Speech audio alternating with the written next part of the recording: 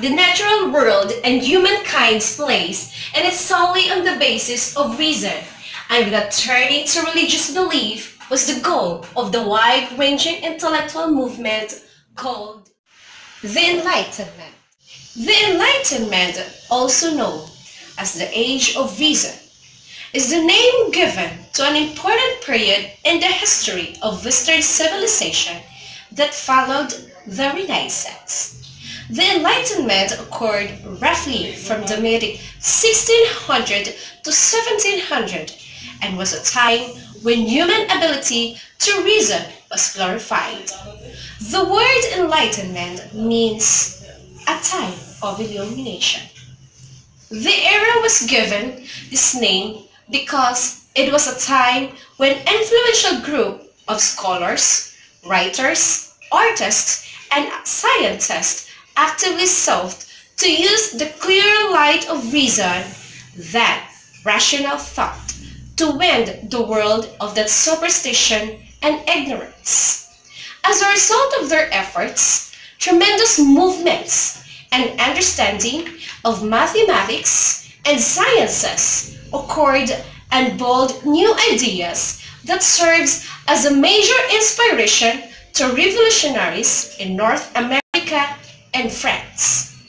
Near the end of Renaissance, during the first half of 17th century, two men, Francis Bacon, René Descartes, each published an important book that came inspired generations of scientists and scholars. In fact, many historians considered these two men as the father of enlightenment. Francis Bacon was born in England in 1561 and it was during his days as a student in Cambridge University, Trinity College that many of his important new ideas began to take shape. Bacon came to believe that science could free ordinary people from ignorance and allow them to live more productive and comfortable lives.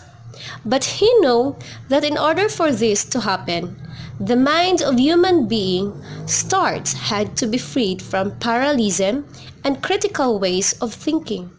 And that was why Francis Bacon promoted a rational approach to science based on experimentation and a rise in generalization and conclusion based on careful observation. Meanwhile, a brilliant French mathematician, René Descartes, published a book that proclaimed that reason and mathematics were all that one really needed to discover truth in sciences. The ideas promoted by Descartes and Bacon proved to be extremely important because they led to the development of what is called the scientific method.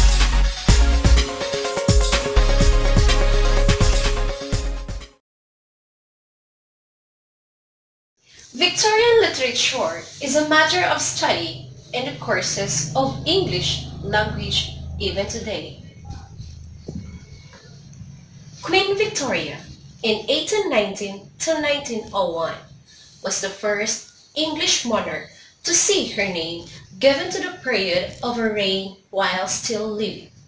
The Victorian age was characterized by rapid change and developments in nearly every sphere, from advances in medical, scientific, and technological knowledge to changes in population growth and location.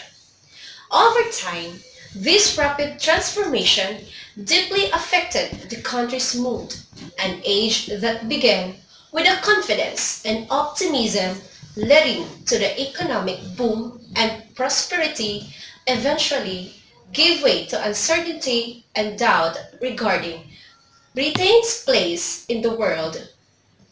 Today, associate the 19th century with the Protestant work ethic, religious, observation, and institutional faith. The divine arts of imagination. Imagination, the real and eternal world of which this vegetable universe is but a faint shadow. Romanticism, also known as the Romantic Era, was an artistic, literary, musical, and intellectual movement that originated in Europe toward the end of the 18th century and was at peak in period from 1800 to 1850. Victorian literature is a matter of study in most courses in the English literature even today. Queen Victoria in 1819-1901 was the first English monarch to see her name given to the period of her reign while still living. The Victorian age was characterized by rapid change and developments in nearly every sphere from advances in medical, scientific, and technological knowledge to changes in population growth and location. Over time, this rapid transformation deeply affected the country's mood, an age that began with a confidence and optimism leading to economic boom and prosperity eventually give way to uncertainty and doubt regarding Britain's place.